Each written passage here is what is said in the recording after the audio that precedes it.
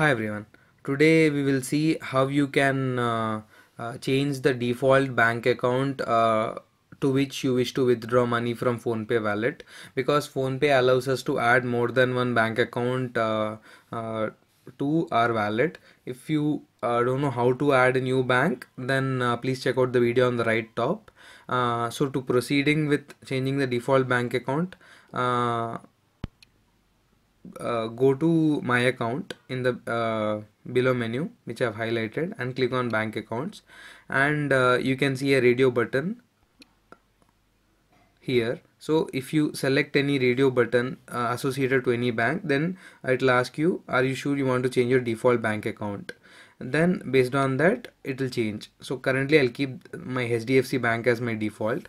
And you can see when I go back and try to withdraw money I can see this has my default bank account. And if I go back here and change this you could have noticed you'll notice that now it will change to my DBS bank. So this way you can change the default bank account to which you will withdraw balance from PhonePe wallet. Uh, so that's it for, for this video. Hope this video was helpful uh, to understand how you can change the default bank account uh, if you have any queries uh, in using PhonePe wallet, write to me through comment section. I'll try to help you. Thanks a lot for watching. Have a nice day. Bye.